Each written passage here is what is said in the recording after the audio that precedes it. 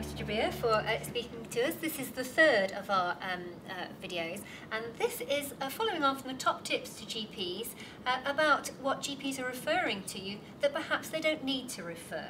So perhaps we could start off with dry eyes. Well, I wouldn't refer really dry eyes. I mean, you can deal with them, and I suggest really you liaise with the community pharmacist to have a package of uh, various types of drops. Advise the patients to take them, and then to maybe have a tick sheet or which one is more, uh, you know, comfortable and uh, they like it, and then prescribe that because there are so many formulas in the market, and every day we get two or three new ones.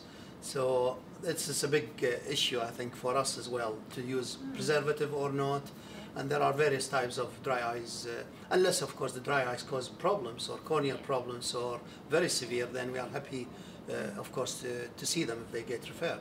So do some pharmacies offer the service of trying the variety? I don't know really. We've tried it a few years ago to have a package of all dry eye uh, remedies, and then they give it to each patient, and the patients uh, select which one they feel more comfortable So with. it's simply patient preference. It is patient preference, Okay, unfortunately. And what I can't drops and advise. ointments? Well, drops during the day, four or five times a day, and ointments at night, because most dry eyes are worst in the morning.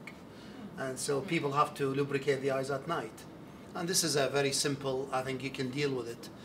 Uh, other problems which could be associated with dry eyes is blepharitis. Again, blepharitis is a problem uh, with, with crusty lashes and a bit of like dandruff around the lashes. Then you use dry eye uh, medications. At the same time, you do what we call lid hygiene. It's a bit offensive to patients, but you can give them a leaflet maybe how to mm. clean the lashes mm. using like a cup of uh, baby shampoo diluted and then with cotton wool to clean the lashes, and that will uh, will help really mm. removal of this the crust from the lashes and uh, and more comfortable eyes after that. So I think this this can be dealt with in primary care. And what about when we refer conjunctivitis to you?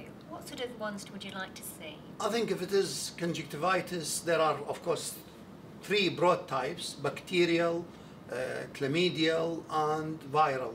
And of course, you can include uh, allergic conjunctivitis as well. I think allergic and viral probably, I'm happy for you to treat them if you know how to exclude and how to diagnose them. So we recognise a viral conjunctivitis because it's more of a watery discharge. More of watery discharge, less than sticky, usually following upper respiratory infection. And if you stain the cornea, there is a little bit of punctate staining or little spots around. So that maybe you would think of adenoviral. Mm-hmm. Well, we, there's no treatment for it anyway. Guidelines So- are suggesting that we manage most conjunctivitis Indeed. conservatively. That's yes. right.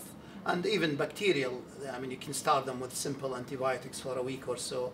Usually, most cases they recover. If not, then swap them and refer them to us. And what about the floaters, uh, the chronic floaters? chronic floaters for weeks and months and uh, without any association with flashes of light, usually 99% are posterior vitreous detachment. They don't need referral. Patients need to be reassured. However, if they are associated with the flashes of light, if they are acute, then there is a possibility, maybe one in a hundred, of retinal holes, which could lead to retinal detachment. Then they need to be referred. How to differentiate the two? Then the chronicity is one clue. The other one, maybe have an ophthalmoscope and look at the back of the eye. If you see a little ring, a little floater in the, and no blood or no holes, that needs a sophisticated, really, knowledge of ophthalmology. How would you, re- you personally reassure someone who has chronic floaters? I would say this is quite common. I have it myself hmm. in my right eye, and I wouldn't worry about it. But hmm. come back to us if it is the hmm. floaters become bigger, if it is associated with the flashes, and if the floaters are sudden, like a shower of black dots, shower of flies, or a grey wavy curtain coming after the floaters. Then these are the warning signs of detachment. And what about watery eyes?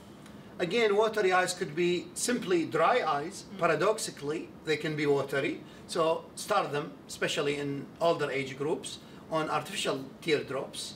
If that corrects it, that's fine. If not, then suspect a blockage of the tear passages. If that's the case, then I would suggest referring them to ENT colleagues mm. Who will probably investigate them rather than to us and then we refer them to ENT colleagues. Are there any specific pointers that might help us to know they need to go to ENT first? Well, if they have like uh, a history of dacryocystitis, for example, a big cyst in the corner of the eye which settles with antibiotics and then followed, following that uh, watery eye, then that's definitely a tear passage problem. Otherwise, you need really to flush with water the tear passages to diagnose it.